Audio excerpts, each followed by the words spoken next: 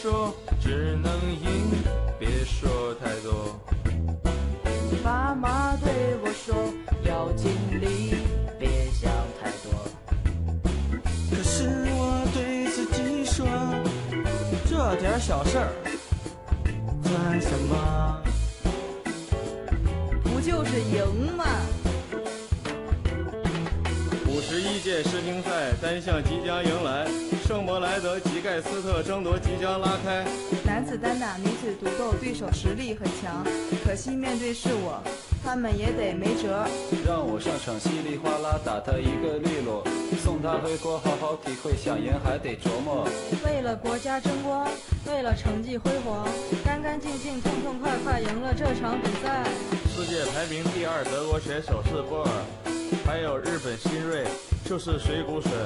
白俄罗斯的老将萨姆索诺夫，韩国一代削球手，他叫朱世赫。新加坡的冯天薇，日本的福原爱，西班牙的沈燕飞，韩国金景娥。这些高手聚集一堂，让人眼前一亮。不过乒乒乓乓，还要看咱中国。教练对我说，只能你，别说要尽力，别想太多。可是我对自己说，这点小事儿算什么？不就是赢吗？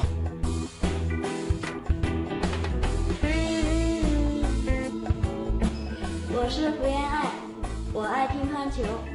我爱乒乓球，我爱听比赛，我爱是比赛。乒乒乓乓，天下无双。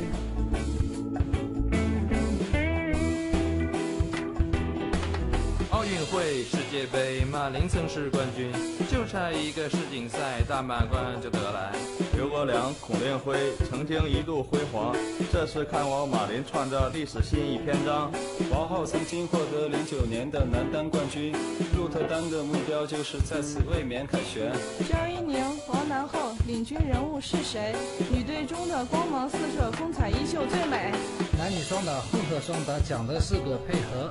这次登场，王浩、马龙、马林、张继科，这四个人来头不小，具体我先不说。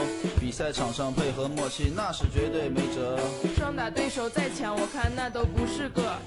只要我们稳住阵脚，想不赢都难说。话说回来，我们必须还要严阵以待，只要有信心在，奖杯一定迎来。教练对我说，只能赢，别说太多。爸妈对我说，要尽力，别想太多。可是我对自己说，这点小事儿算什么？就是赢吗？